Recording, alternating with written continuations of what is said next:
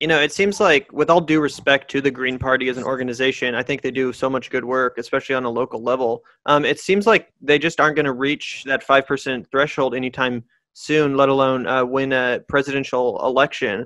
Um, do you think that has something to do with their uh, strategy, or do you think that maybe embracing, you know, a bigger name, someone with a bigger platform, like a, you know, a Jesse Ventura or something, do you think that would be in the best interest of the party, just to maybe get to that five percent threshold, or even win an election? It, it, just seems like we're a little bit stuck in the mud. Then I, I, I think that's a, that's a, legitimate question, mm-hmm. uh, but it it, it really uh, poses the real question of what what what what what is the what is the Green Party and what how does it see its future? And what is the strategy that it believes it, it needs to engage in in order to build a, a party that's, that's sustainable. Now, you know, we know of the shortcuts where you uh, find some so-called big name that will bring some attention uh, to the party.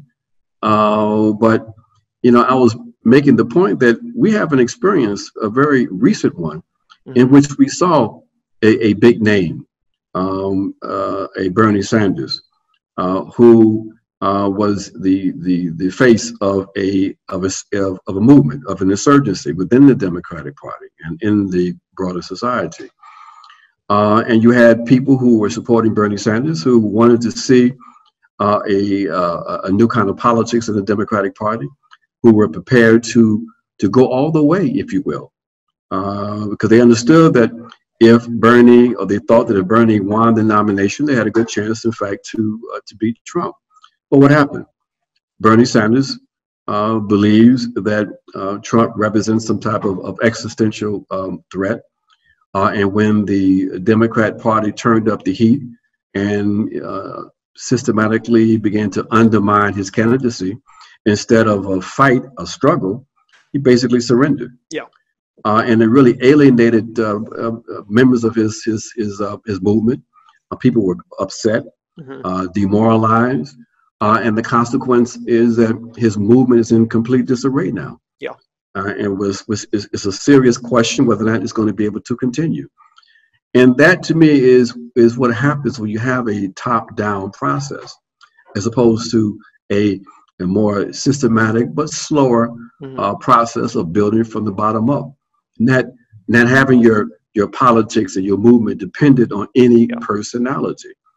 So there's no, I'm gonna tell you, Gavin, there's no there's no uh, shortcuts in organizing yeah. effective oppositional politics. Yeah, the only reason I ask is uh, I remember Jill Stein ran on the the slogan. It was something along the lines of, um, you know, vote green, like your life depends on it because in fact yeah. it does and I, was just thinking if if the green party or another third party progressive party had the chance to get on the debate stage or get to win an election i mean i i feel like if it's true that our lives depend on it i think that's a you know a necessary kind of step to take and i'm just i'm just torn uh, because I, I i totally understand what you're saying and i've talked to howie hawkins himself on the podcast about the same subject and i and mm. got a similar answer and I, I just have to push back a little in the sense that I I just don't see any a, a future of the Green Party, you know, winning without someone who can, you know, maybe make the case a little bit more, uh, uh you know, effectively to a broader population that's maybe not already on board with the with the leftist cause. You know, someone that can maybe appeal to libertarians or more independent-minded folks that haven't quite yet made the jump to identifying as a you know a, a far leftist essentially. Uh, do you think that like how are we going to uh, you know, build a, a movement that is broad enough and big enough to actually win elections, do you think?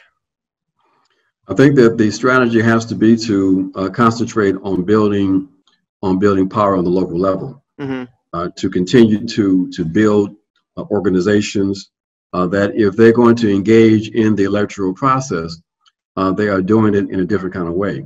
They're doing it from an organized base yeah. that they're not engaged in the same kind of, of candidate-centered uh, bourgeois politics that we see in the duopoly.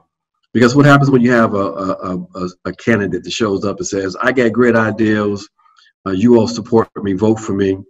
Um, you voted that person in. You have no social base to really uh, demand accountability. True. Uh, they go into this this this this swamp and basically, you know, you lose them. They stop playing the game, and you know, you in a position, uh, in a defensive position, trying to get them yep. to adhere to what they said they were all about.